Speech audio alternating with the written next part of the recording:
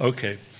Um, since what I'm going to uh, tell you um, doesn't really fit into this present panel, it was intended for the second one on ever closer union, but uh, Nino uh, already uh, has uh, uh, laid out the introduction for me, so I feel right in, in this place.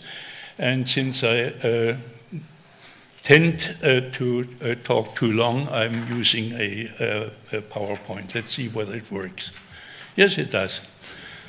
Um, uh, ever closer union, uh, I call a theoretical blind spot of uh, European studies because the theories that we have of European integration, whether they are neo-functional or intergovernmental, uh, have an exclusive focus on mechanisms uh, uh, that explain the progress toward more uh, integration. And these optimistic assumptions uh, have recently been shaken by the euro crisis, by Brexit, by anti-European parties in the old member states, by constitutional conflicts in some of the uh, new uh, member states.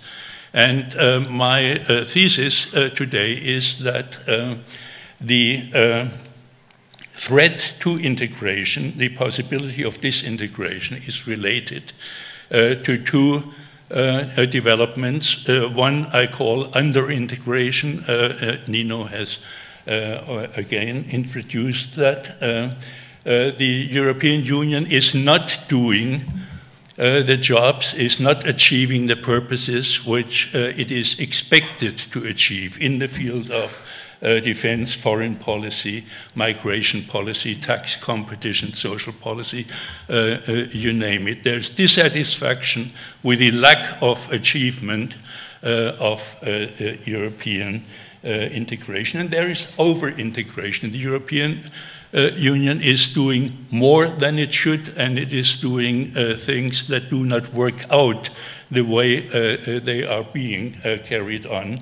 Uh, by the uh, uh, European Union. for me, monetary union is a prime example, but also what I call the asymmetry of negative and positive integration is a major problem of over integration.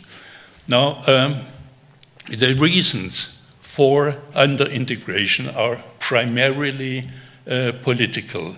Uh, the underlying reason is the extreme heterogeneity of EU uh, member states, uh, very large, very small, very rich, uh, very poor, uh, northern, southern, with cultural, institutional, historical legacies that are extremely different.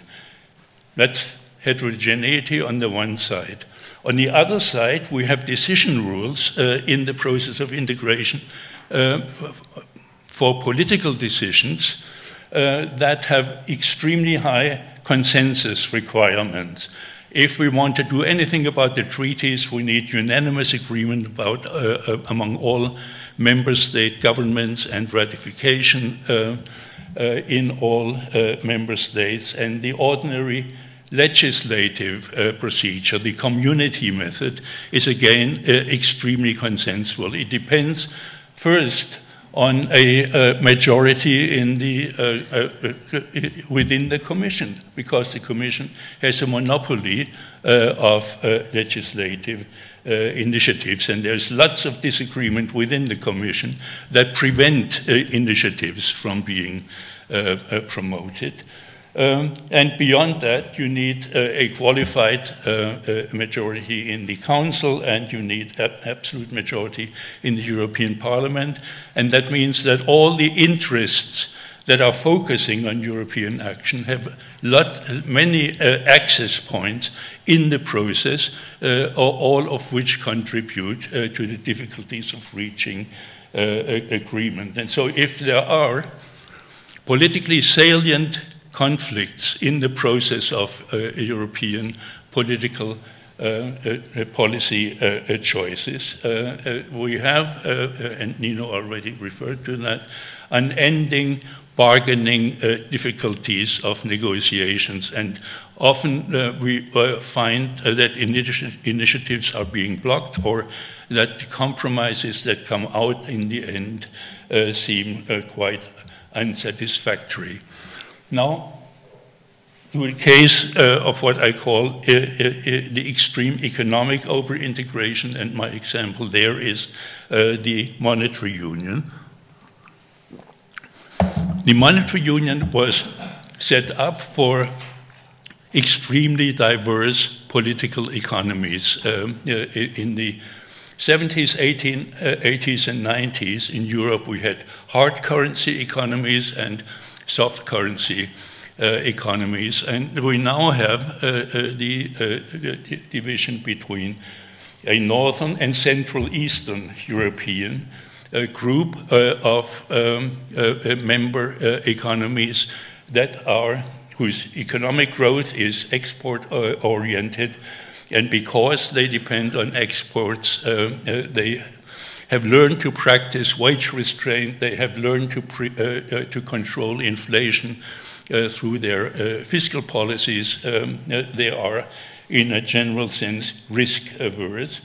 And you had a southern group uh, of economies who's, uh, uh, that, that, had traditionally depended on the growth of domestic demand through wage rises, through fiscal expansion, and if inflation became uh, unusual, uh, then they had the option of uh, currency devaluation. And that combination uh, in the uh, first decade of the monetary union eventually led uh, to the uh, euro crisis that was triggered uh, by uh, the realization of the risks that had been run in southern economies. And ever since, the monetary union is struggling to find a common regime for these diverse types uh, of economies. For the first years, uh, uh, the common regime meant let's force the southern political economies to become like the northern ones uh, by restraining domestic uh, demand, by forcing them into uh, export growth through um, wage cuts, budget cuts, and so on. And it's only recently that it's realized that this doesn't work, uh, that uh, the difference, though there has been lots of change in southern economies, the difference between north and south uh, uh remains, and the north is still outcompeting uh, the south in uh, the, the world market. So uh, uh, since about the last two years, the, uh, the debate has shifted, saying the real problem is Germany and the northern economies, and they have to change. They have to become more like the Eurozone average. They have to reflate their economies, they have to raise their wages, and so on. And it's only now that it's realized that this also doesn't work, that these uh, uh structurally different northern economies are not going uh, uh, to change uh, their basic way of operation. And so now the idea is we should have a system of risk sharing in uh, the banking union, in, the in, in a fiscal union, and so on. Uh, and uh, of course, uh, if my analysis is right, if you have risk sharing among a risk averse group of economies and a risk prone group of economies, that's a very unequal type of uh, risk sharing that is likely to lead into a transfer union, uh, which, unless uh, the Southerners are, are, changing, will eventually result in a permanent dependence relationship uh, between the North and uh, the South, which, uh, in my view, is not a, a, promising prospect. So my own work is focusing on options for differentiation between within uh, uh, the monetary union uh, Uh, uh, in order to prevent, to prevent catastrophic disintegration. But uh, since I've spent the last years of my life uh, on, on, that, and I um, have pretty much completed. I'm not going to go into that now. I go on to my next topic, namely the, another case, not the economic over-integration, but the judicial over-integration. Um, the Treaty of Rome um, pre presumed that economic integration uh, was to be achieved through European legislation. Uh, but that was uh, bypassed, uh, uh, I would say, uh, by the um, adjudication, by the case law of the European Court of Justice, um, the court in the 1960s established the doctrines of supremacy of European law uh, and uh, direct effect of European law. That is, the treaties were not only binding uh, on member states uh, under international law, but uh, uh, the idea is that the treaties established a uniform system of autonomous European law that was uh, supreme over the constitutions and laws of the member states and that uh, could be directly applied in courts. And it's this judicial decision or series of judicial decisions that have established the notion of uniformity of uh, uh, European uh, rules and law, of the uniformity of the acquis communautaire uh, that was binding equally on all member states, on all uh, uh, member uh, uh, uh political and legal and economic system. Um, but since it was established by the court rather than through politics, the court could only uh, intervene against existing national law, national regulations, uh, uh, national uh, uh, practices, uh, and the court could only enforce individual rights against the nation state.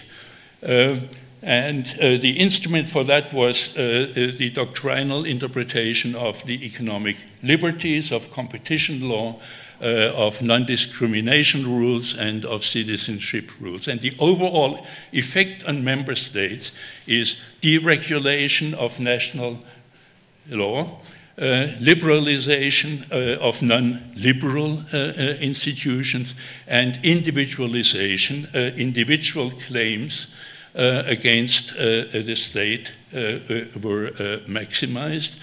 And the counterpart, the logical counterpart to deregulation at the national level, that is uh, non-liberal European legislation uh, at, at, at, the uh, European level, that was blocked or impeded uh, by the political obstacles that I've already uh, uh, talked about. And the result of both of these me me mechanisms is the asymmetry. Negative integration is so much more effective than positive integration, European uh, uh, uh re-regulation.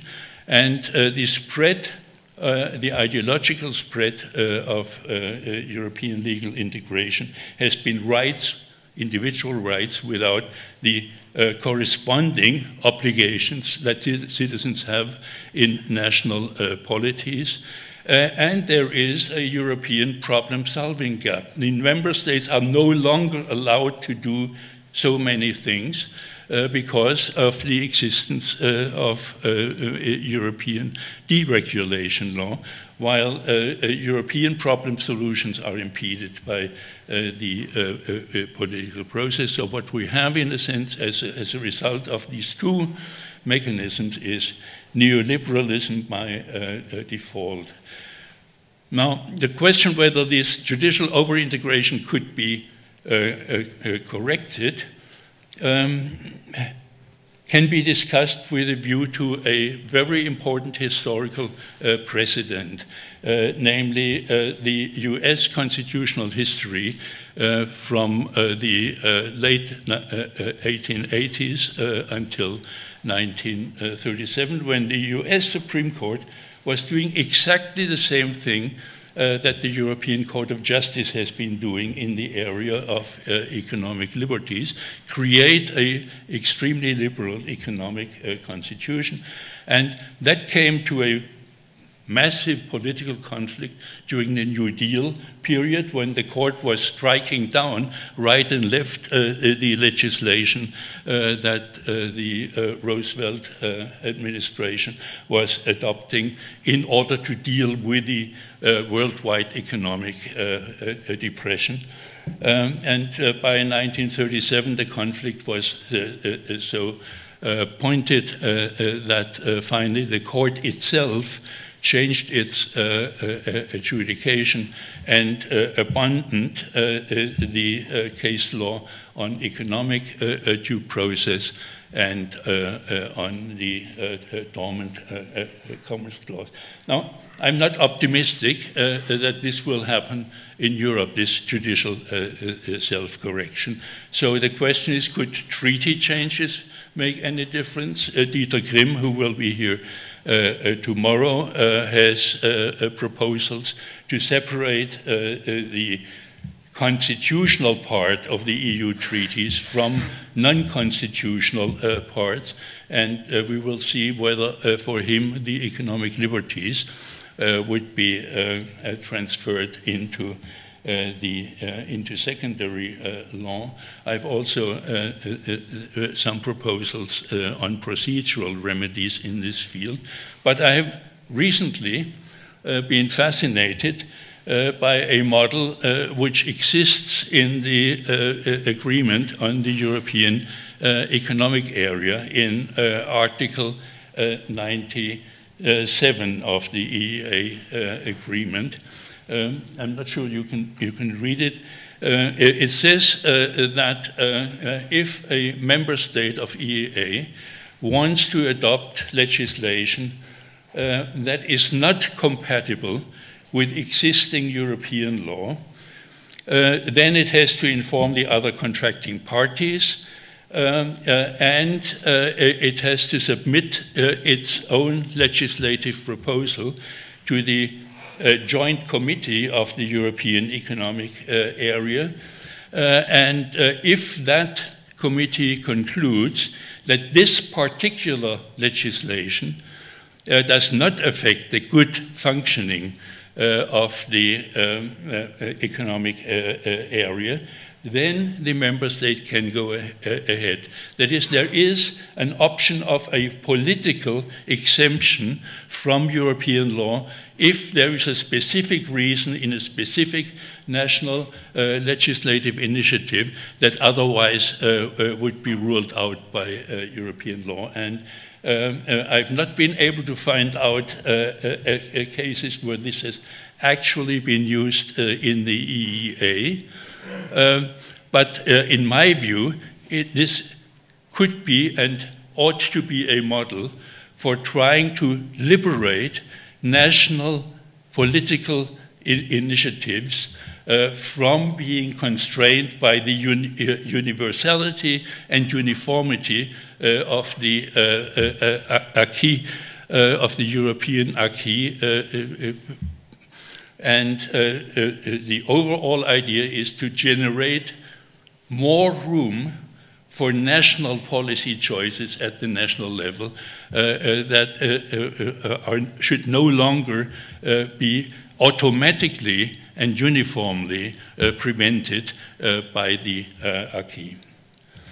Okay, but the idea is that it's not enough to create more space for national action. We also need more capacity for political action at the uh, European level. Uh, and that is a problem of legitimacy, mainly.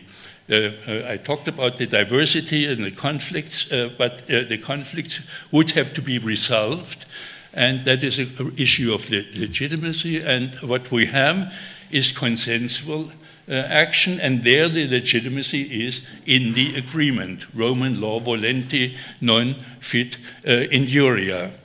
But as I've said, uh, uh, the principle of consensus inhibits political action. Now, there are some areas where Europe is acting through intergovernmental action, especially in the Eurogroup.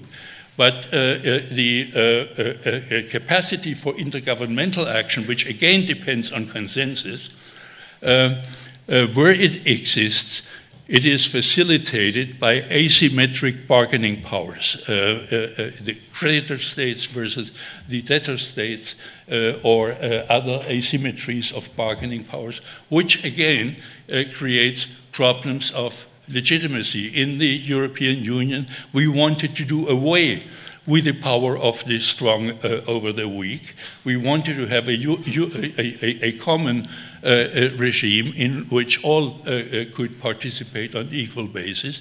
And the intergovernmental action is the opposite of that idea of commonality.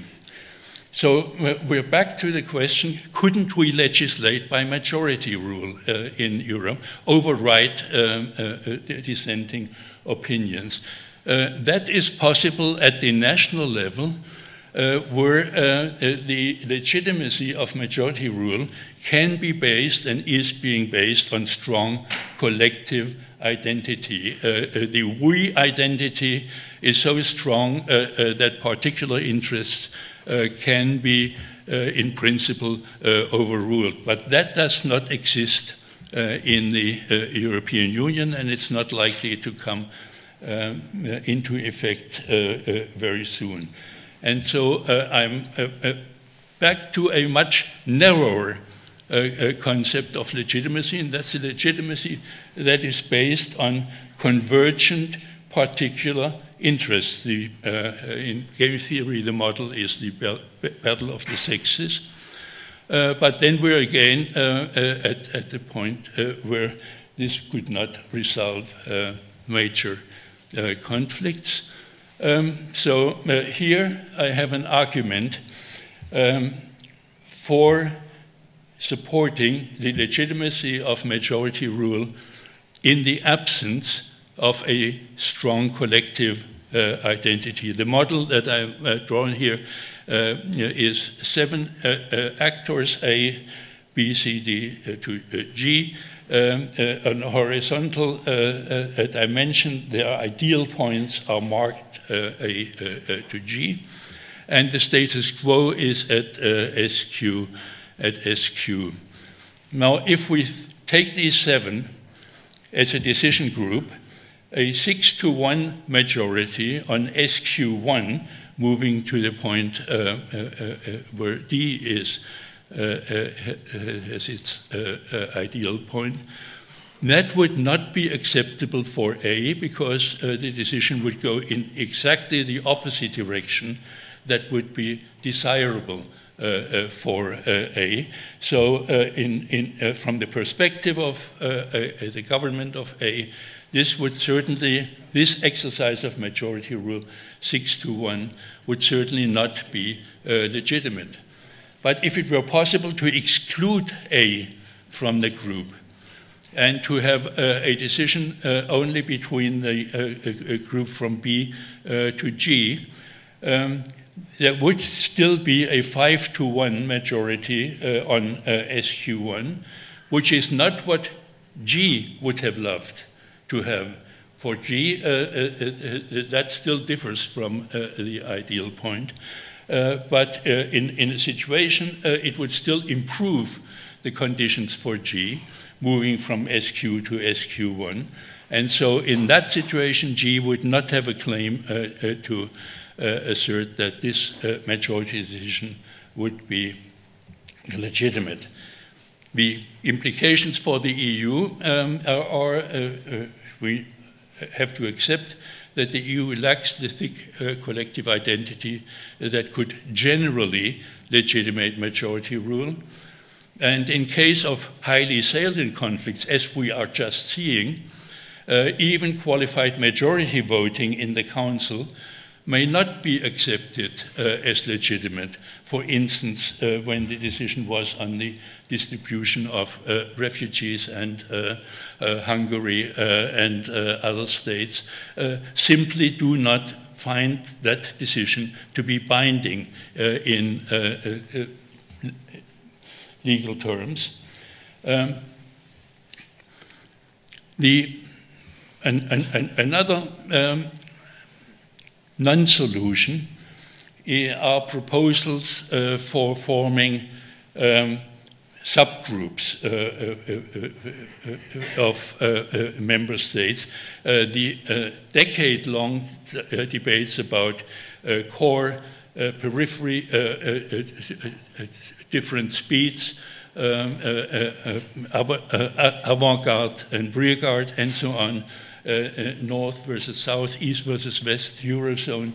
Um, all these permanent territorial uh, uh, uh, groupings would still not eliminate highly salient internal conflicts, and we would be back to the same problem as you see within uh, uh, the monetary union, the, uh, the, the, Eurozone, that is often uh, presented as a paramount example of this uh, territorial uh, differentiation. It does not eliminate the conflicts that impede common action.